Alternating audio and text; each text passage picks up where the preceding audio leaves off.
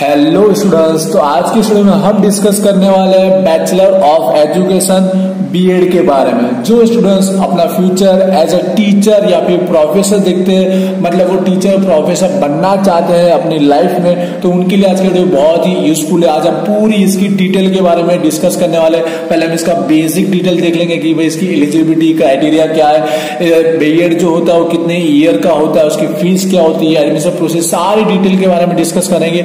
और उसके बाद बीएड कंप्लीट होने के बाद भी हमें एज ए टीचर या प्रोफेसर बनने के लिए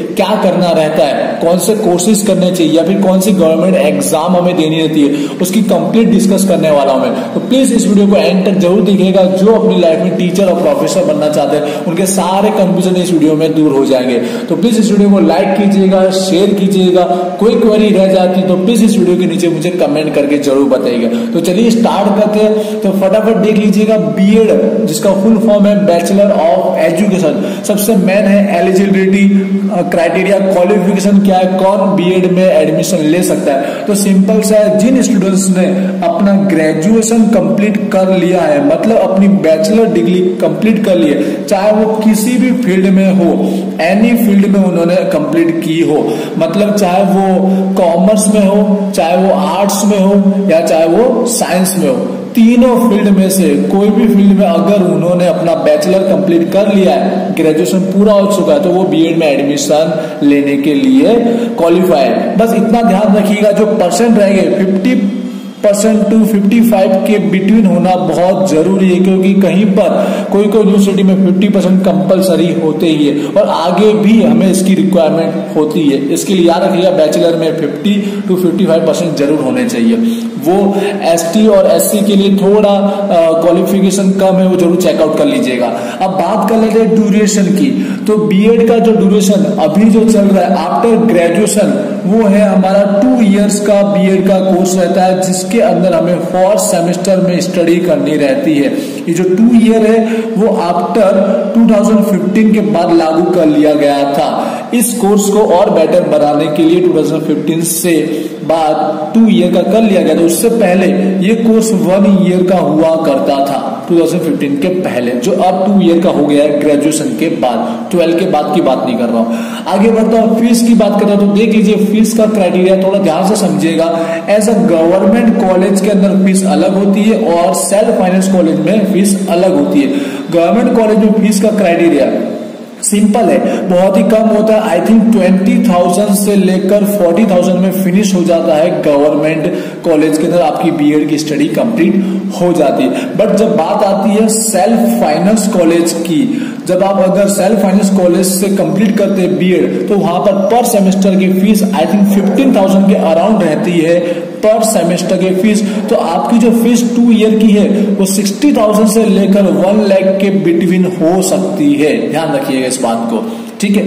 अब देख लीजिए एडमिशन प्रोसेस की बात करते तो एडमिशन जो होता है, वो same as a merit base he admission किया जाता है। मेरिट बेस आप गवर्नमेंट कॉलेज के अंदर आप एडमिशन ले सकते हो। बट अगर गवर्नमेंट कॉलेज की सीट फुल हो चुकी या फिर आपका मेरिट में नाम नहीं आया तो आप फिर उसके बाद जाकर सेल्फ फाइनेंस कॉलेज के अंदर एडमिशन ले सकते हो, जिसमें आपको फ़ीस का क्राइटेरिया पता चल गया होगा। ठीक है, अब बात कर लो तो सब्जेक्ट देखिए, अगर बीएड कर रहे हो तो आप अपना मेन सब्जेक्ट कौन सा रख सकते हो, उसको मैं बता देता हूँ। अगर आप कॉमर्स फ़ील्ड से हो ठीक है मतलब आपने बीकॉम किया हुआ है तो आपका जो मेन सब्जेक्ट रहेगा वो अकाउंट और एंड बीए रहने वाला है। याद रखिएगा अकाउंट और बीए आपका मेन सब्जेक्ट रहने वाला है बीएड के अंदर। उसके बाद, अगर आप बीएससी कर रहे हो तो बीएससी के अंदर आप जान सकते हो कि भाई अपना मैथ या फिर जो साइंस होता है, वो मैथ सब मेन सब्जेक्ट बन सकता है। या इसके अलावा और भी आप अपना मेन सब्जेक्ट रख सकते हो। और जो आर्ट्स से कंप्लीट किया है, वो अपना कोई भी लैंग्वेज रख सकता है, कोई भी लैंग्वेज चाहे वो हिंदी हो इंग्लिश सब्जेक्ट हो, चाहे सोशियोलॉजी हो, चाहे एसएस सोशल साइंस हो, कोई भी सब्जेक्ट को मेन रखकर वो यहाँ पर बीएड कंप्लीट कर सकता है। तो आई होप आपको बीएड की सारी प्रोसेस समझ में आ गई होगी एडमिशन से लेकर बीएड कंप्लीट करने तक की। अब हम लोग मेन बात करते हैं बीएड कंप्लीट हो गया, उसके बाद क्या?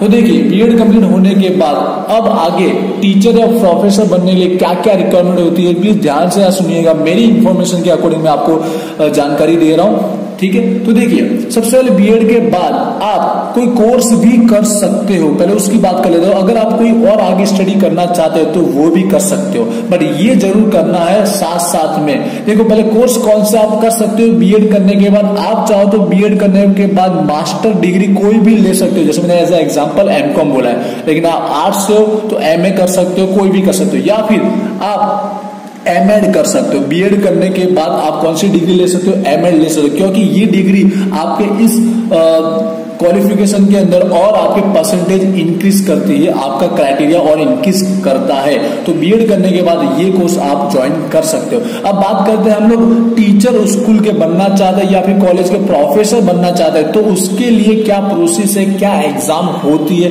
उसकी मैं इंफॉर्मेशन दे देता हूँ। ये मैं अपने स्टेट वाइज बता रहा हूँ मतलब अपने गुजरात के लेवल पर एग्ज़ाम की मैं बात कर रहा हूँ। देखिए, सबसे पहले अगर क्लास वन टू फाइव का आप टीचर बनना चाहते हो तो आपको एग्ज़ाम क्लियर करनी पड़ती है T TET one TET one जिसका फुल फॉर्म होता है टीचर एलिजिबिलिटी टेस्ट जो प्राइमरी वन टू फाइव के लिए होती है। अब इसके लिए जो क्वालिफिकेशन होती है, ध्यान से सुनिएगा पीटीसी करना कंपलसरी होता है।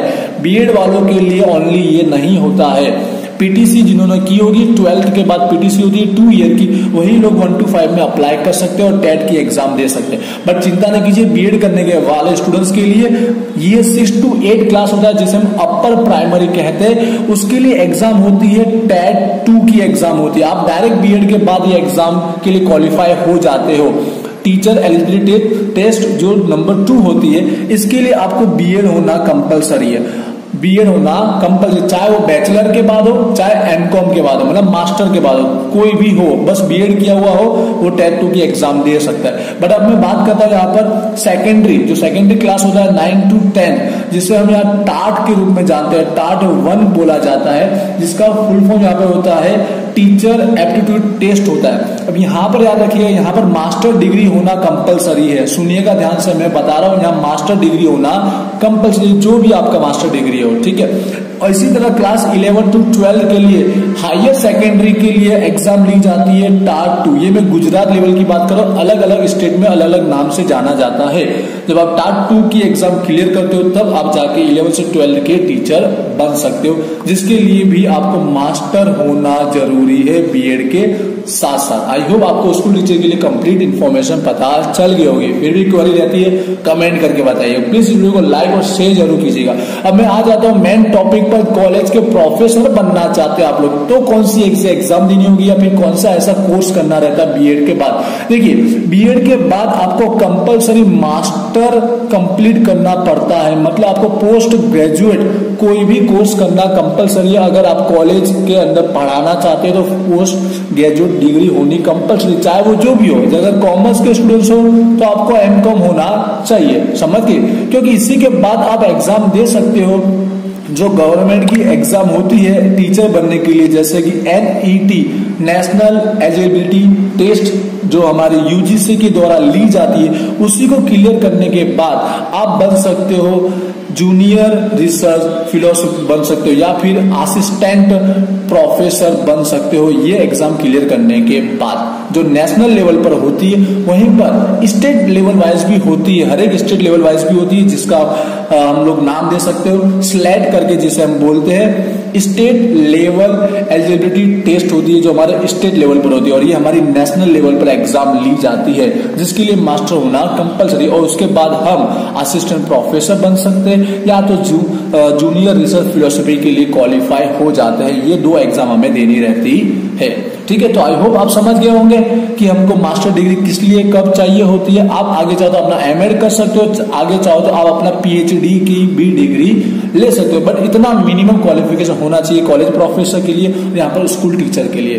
तो आई होप ये सारी डिटेल थी। बीएड के बाद भी क्या करना पड़ता है हमें एक प्रोफेसर या फिर टीचर बनने के लिए। प्राइवेट टीचर के लिए ऐसा कुछ नहीं है। आप बीएड करने के बाद कोई भी स्कूल में जाके सिंपल पढ़ा सकते हो। बट गवर्नमेंट के लिए आपको सारी एग्ज़ाम क्लियर करनी रहती है और साथ साथ में क्वालिफिकेशन भी कंपलसरी होती है। तो आई होप आज की वीडियो मैंने सारी डिटेल आपके साथ शेयर की, आपके लिए यूजफुल रही होगी। बस मैं चाहूँगा इस वीडियो को आप लाइक करो शेयर करो चैनल को सब्सक्राइब नहीं करो प्लीज़ मेरे चैनल को ज़रूर सब्सक्राइब कर लीजिएगा। और कोई क्वेरी है तो इस वीडियो के नीचे मुझे कमेंट कर दीजिएगा और कौन सा नेक्स्ट वीडियो चाहते हैं वो भी मुझे बताइएगा। तो मिलते हैं इसी तरह किसी न्यू वीडियो में। Thank you